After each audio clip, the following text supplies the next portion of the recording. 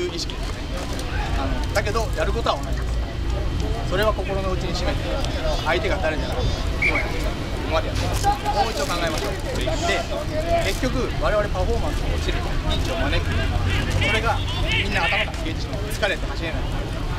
頭が真っ白になって普段できることができなくなるからピンチを招くそれが1人2人続い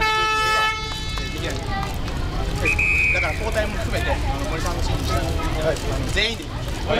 個人の力で、はい、行くぞはい、はい、2試合だ2試合よし集中集中集中はい。やはい。ちょっとい。い。やつ取りに行こう。よし集中